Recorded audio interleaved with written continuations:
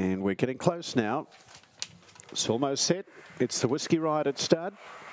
Stand by, the favourite in the white jacket. Set to go. And racing to a perfect dispatch as well. Cowboy Bebop's up there. So too there is Hadouken. As they go to the first turn, Hadouken drops back. And it is Cowboy Bebop who skips clear over Electra April. And then came Fletch. And further back, Hadouken back in company with a Toogool Bay Lightning. Leo's back there with Ladies Get Grace. But in the straight, and Cowboy Bebop is off and gone.